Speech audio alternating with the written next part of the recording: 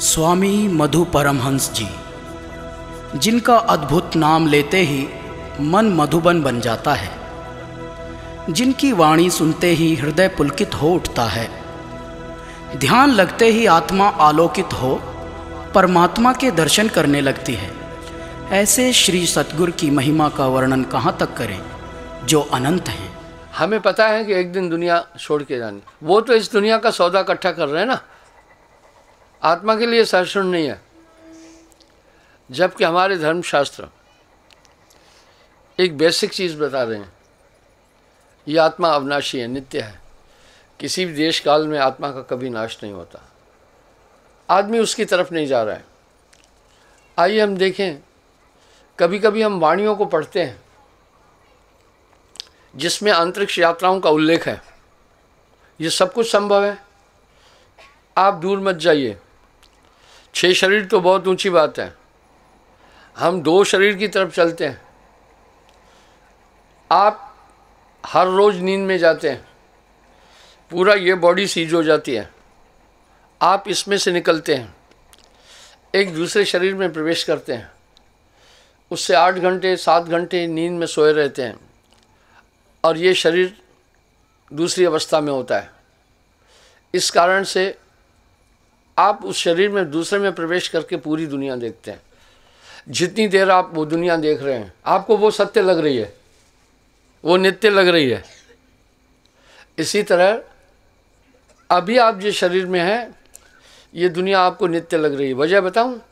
वजह है, छह शरीर हैं आपके पास, चार अवस्थाएँ भी है। आप किस अवस्था में जाना चाहते हैं? ये आपके हाथ में है। आप चूज़ करो कौन सी अवस्था चाहते हैं। ये हैं जागृत स्वप्न सुसुप्ति, जागृत तुरिया। मूल चार अवस्थाएँ बोली। जिस अवस्था में अभी बैठे हैं, इसको जागृत कहते हैं। आपकी मर्ज़ी है, जिस अवस्था में जाओ, जा सकते हो। पर आपने इस अवस्था को सही माना है। पर आप ये माने, ये अवस्था भ्रमांक है। इस समय हमारे जो सेल काम कर रहे हैं, ये धोखा दे रहे हैं। ये जिस अवस्था में अभी बैठे हो, ये अनित्य अवस्था है। पर जैसे आप स्वप्न में बैठते हैं, स्वप्न देखते हैं तो स्वप्न की सब चीज़ें सत्य लगती है। वो अवस्था का खेल था। जब आप जाग जाते हैं तो आपको लगता है ओ ये मिथ्या है। इसी प्रकार जब आप तुरियावस्था में चले जाएँगे, ये ऑल एक्टिविटीज़ आपको बेवकूफ़ी लगेगी, बकवास लगेगी, ब्रह्मांक लगेगी। वो अवस्था बड़ी आनंदमयी है उस अवस्था में अभी से एक हज़ार गुना ज़्यादा ज्ञान आ जाता है। कहीं कहीं इन, अवस्थाओं के विषय में कोई बोल नहीं रहा है। यदि आज आप अध्यात्म की तरफ़ चलें तो टोना टोटका जादू झड़ी और माला लक्कड़ पूजा पत्थर तीर्थ हैं सब पानी। कहत कबीर सुनो भाई साधो चारों वेद कहानी।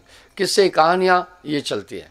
इसी तरह कुछ लोग कैसे भ्रमित करते हैं कि नागिन नाग बीन से नाचता है। अभी वैज्ञानिकों ने सिद्ध कर दिया, उसको तो कहानी नहीं है। आपने सपेरे को भी देखा होगा, बीन बजाता है, सांप नाचता है। पता है क्या है चालाकी? वो बीन का ठसका मारता है सांप को, ऐसे। तो सांप अपने को बचाता है। तो जहाँ जहाँ बीन जाती है, वो बीन की तरफ़ अपनी गर्दन करता है। अपने को बचाने के लिए कि ये मारेगा, नहीं तो इससे। फिर वो क्या करता है? सपेरा जब यूँ बीन घुमाता है, वो गर्दन भी यूँ घुमाता है। वो नाच नहीं रहा है। वो बीन से अपने को प्रोटेक्ट करने के लिए ऐसा कर रहा है। फिर आखिरी में काफ़ी बजाने के बाद वो क्या करता है? ऐसे फिर मारता है बीन से। सांप भी ऐसे करता है। फिर क्या कहता है कि ये अभी कह रहा है, और नाचूँगा। और सब यही मान रहे नहीं, उसने एंड में उसको जब इस तरह किया, उसने रिएक्ट किया, ऐसे फन मारा। तो वो क्या कहते हैं? सपेरा कहता है कि अभी सांप कह रहा है और भी नाचना है। बीन बंद मत करो। ऐसा नहीं है। पूरी दुनिया यही जान रही है। हकीकत क्या है? सा, सांप के पास कहानी नहीं है। तो बीन क्या खाक सुनेगा? सपेरा उसको पिंड जब बंद पड़ा हुआ है पिंडे में तो बीन मार करके जगाता है, वो बीन से बहुत डरता है। जैसे आपको कोई डंडा मारे तो आप डंडे पर निगाह नहीं रखते हो। सांप इस तरह बीन पर नज़र रखता है, उससे मारता है वो उसको, यूँ ठसका मारता है। जब बजाता है तो सांप भी अपनी रक्षा के लिए, जैसे आपको कोई लाठी मारे तो आप अपना हाथ आगे करते हैं, सांप फन यूँ करता है कि कहाँ है। तो जैसे जैसे उसको बजाते बजाते ऐसे ऐसे घुमाता है, वो ऐसे घूमता है, बीच में ठसका भी मारता है तो सांप जो है ना वायलेंस करता है, उस पर प्रतिक्रिया करता है। तो जैसे जैसे यूँ यूँ कर रहा है, बीन वैसे वैसे सांप अपनी गर्दन कर रहा है। बीच में वो बीन को गोता खिलाता है। तो सांप भी यूँ गोता खाता है। कहता है, देखा नाच रहा है। जब सपेरे को बीन बजाना बंद करनी होती है तो एक ठसका और मारता है। तो सांप ढंक मारता है। तो वो क्या कहता है, देखो, ये कह रहे हैं कि और भी बीन बजाओ। पूरी दुनिया यही मान रही है ना? इसी तरह कुछ जीवों में खास बातें हैं। खटमल, अगर आदमी गुच्ची मारकर सो जाए, कोई नहीं जान पाएगा सही में सोया है नहीं। खटमल आपके ब्लड के वाइब्रेशन से जान जाता है, आदमी जागा है या सोया। उसको पता है मेरा काम खतरनाक है। काटने के साथ मुझे यूँ किया जाएगा, मर जाऊँगा। उसके पास प्रकृति ने इस ताकत दी है, वो आदमी सोया है या नहीं, ये जान जाता है। मच्छर को आप जब काटते हैं, मच्छर काटता है, आप हाथ यूँ ले जाते हैं। कहाँ से हमला आता है? उसके पंखों में, बस स्पंदन है। वो यहाँ से हाथ आया, वो जान जाता है, इधर से हमला आया, पहले ही उठ जाता है। तो इस तरह से जीवों में ये चीज़ें हैं।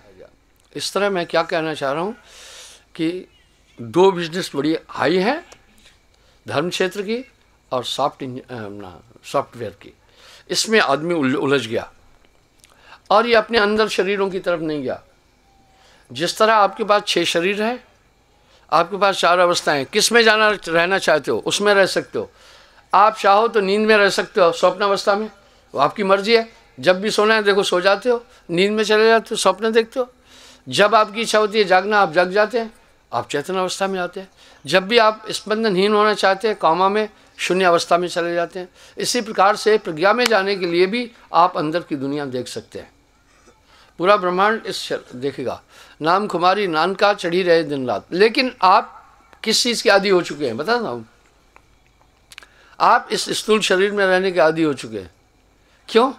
आपको इस स्थूल शरीर की इंद्रियों का आनंद की लत पड़ गई है।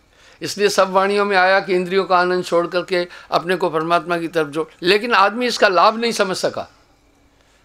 कह दिया सबने सुमरण करना। अच्छा सुमरण क्यों करना? जब आप सुमरण कर रहे हैं, फोर्थ स्टेज ऑफ़ कॉन्शियस में पहुँच जाएँगे आप, ठीक है? इसलिए सुमरण है। लेकिन बताने वाला एक्सप्लेन नहीं कर रहा है। वो ठीक से एक्सप्लेन ही नहीं कर रहा है।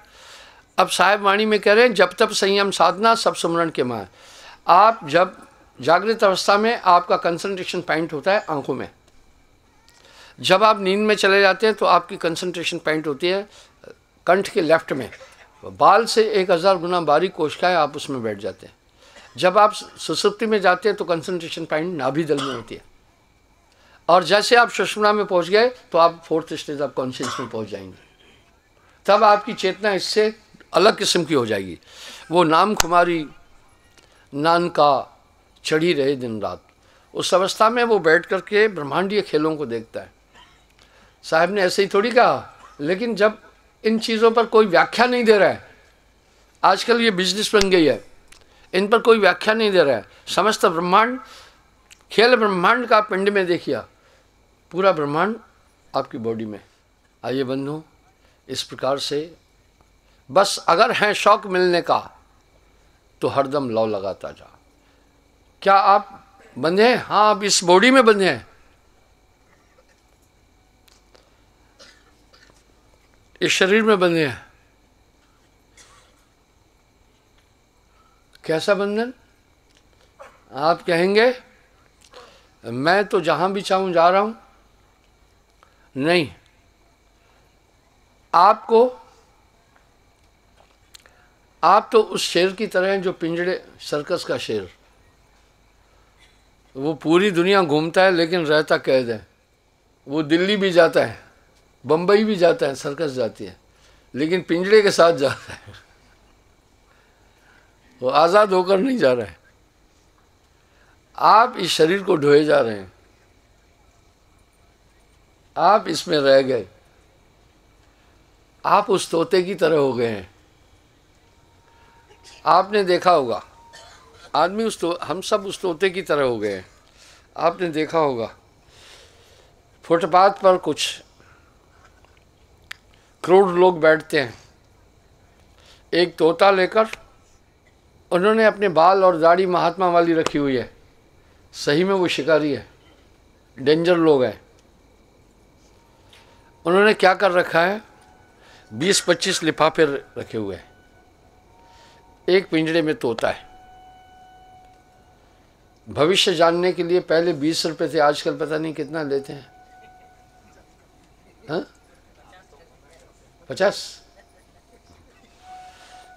अब क्या होता है? तोता बाहर आता है पिंजड़े से। बाहर आकर एक लिफाफा उठाता है। लड़खड़ाता हुआ वापस पिंजड़े में जाता है। आप सोचते हैं तोता बहुत बड़ा ज्ञानी है, मेरा भविष्य बता रहा है। उसमें क्या लिखा है? कॉमन बातें लिखी है।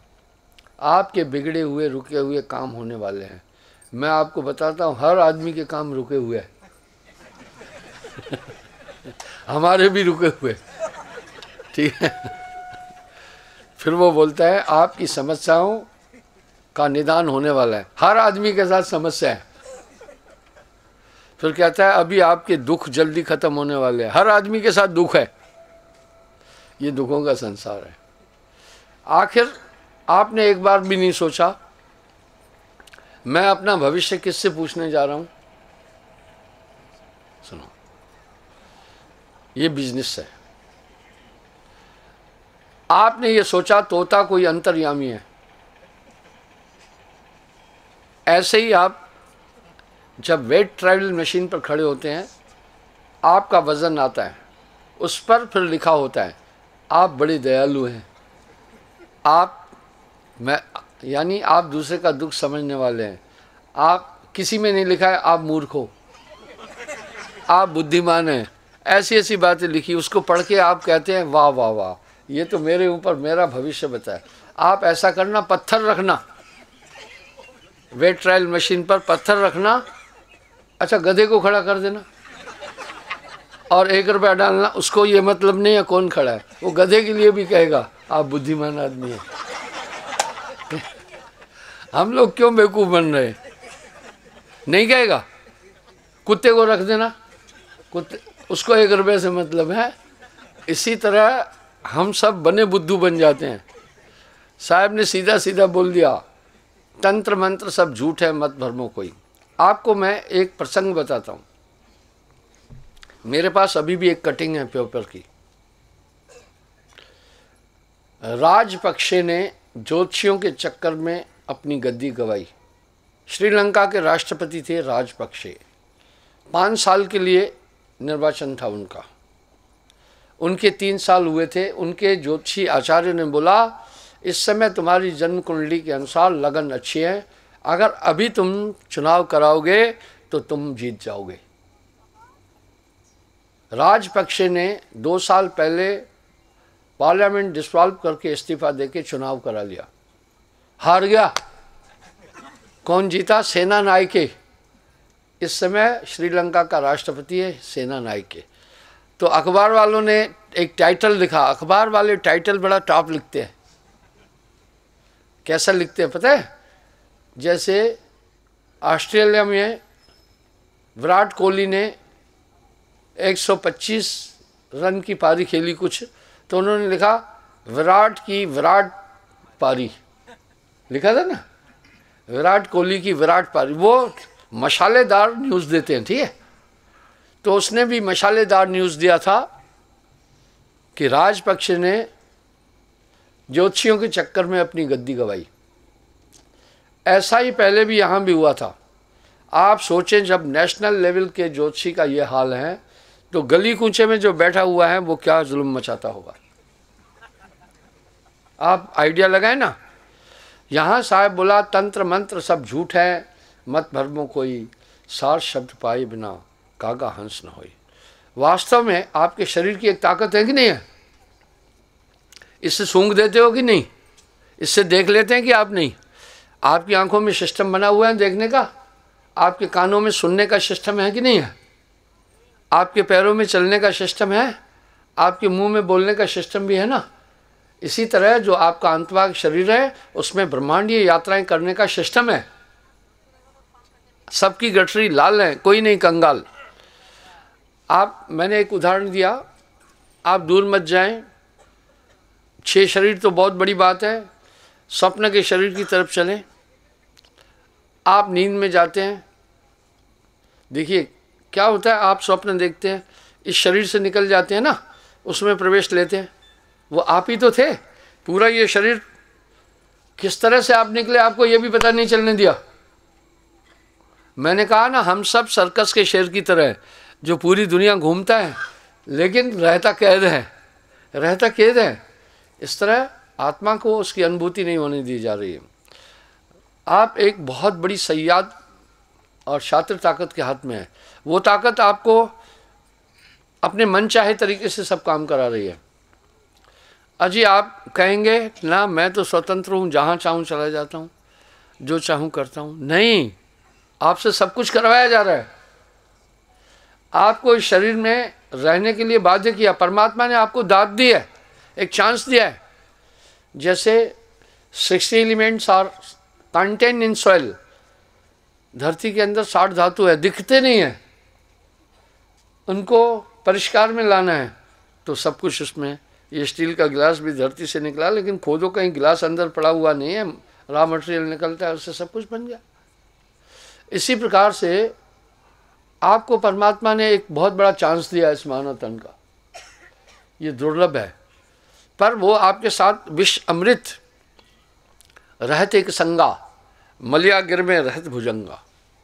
आपके साथ बुद्धि पे ताकतें भी काम कर रही है और विषैली शक्तियाँ भी हैं। आप बंधन में हैं। आप देखो ना, सबसे बड़ा कौतुक बताता हूँ। आत्मा की व्याख्या है। शरीर में रहकर इतने जन्म हुए, आपको अपनी आत्मा नहीं देखने दे रहा वो। इसी पर चिंतन करना घर जा कर के। हम अपनी स्वात्मा को नहीं देख सकते हैं। मैंने एक सेंटेंस कई बार दोहराया है और कई बार दोहराऊँगा। कई बार प्रसंग आया। राष्ट्रपति रीगन के पी एलेक्सेंडर ने एक महावाक्य बोला था, वो वर्ष का महावाक्य था। मुझे यूँ लगता है, हम सब धरती पर रहने वाले लोग किसी शात्र ताकत के हाथ हैं। उस शात्र ताकत में इतनी शक्ति है कि हम सबसे जो भी चाहे कराती है। वो ताकत इतनी ताकतवर है कि हम सब धरती के लोगों का दिमाग और ध्यान एक ही बार में डाइवर्ट करके किसी भी दिशा में लगा सकते हैं। धरती के सभी लोगों का दिमाग एक ही साथ डाइवर्ट कर सकती है। इतनी ताकत है उसमें। मुझे यूँ लगता है, वो शास्त्र ताकत हम सबको अभी विनाश की तरफ़ ले जा रही वो कौन है? वो है मन। अब यहाँ साहब ने मन को एक्सपोज किया, मन का भेद खोला। तेरा बैरी कोई नहीं, तेरा बैरी मन। यानी हमें एक ताकत बाध्य कर रही है ये सब करने के लिए। हर आदमी को पता है कि मेरी शादी हुई विधिवत पराई स्त्री की तरफ़ मुझे नहीं देखना। फिर भी जा ये आँखें खींच रही है। पूरा मटेरियल इसमें फ्रॉड है। ये शरीर महान होने के साथ साथ साहब इसके दूसरे पक्ष को भी बोल रहे हैं। ये तन विष की बेलरी, गुरु अमृत की खान। शीश दिए जो गुर मिले तो भी सस्ता जान कबीरा तो भी सस्ता जान। इसमें दिव्य ताकतें भी है, लेकिन आप देखें जो नेगेटिविटी है नेगेटिव पावर आपको ज़्यादा जकड़े हुए हैं। इसमें काम भी हैं, क्रोध भी हैं, लोभ हैं, मोह है, अहंकार, ये तो आत्मा नहीं है। फिर ये कहाँ से आई? यहाँ साहब एक शब्द कह रहे हैं, स्तन में और रहे न कोई, मन और जीव रहे मिल दोई इस बॉडी में और कोई नहीं है। आत्मा और मन है। लेकिन कितना शात्र है, आत्मा को नहीं पता चलने दे रहा है। आप यहाँ आए। आप अपनी आत्मा को घर में रख के नहीं आए। अब प्रश्न उठा, इस समय आपकी आत्मा क्या कर रही है? आओ मैं बताऊँ। आप अभी मेरी तरफ़ ध्यान नहीं दो। आँख बंद करके खड़े हो। मुझे बताओ आत्मा क्या कर रही है। जब ये खड़े थे आत्मा टांगों को लेके खड़ी हुई थी। अभी जब बैठे तो आत्मा इस शरीर को बिठाकर बैठी हुई है। जब देख रहे हो तो आत्मा देखने में लगी है। आपकी आत्मा की आ, पूरी काम कर रही है।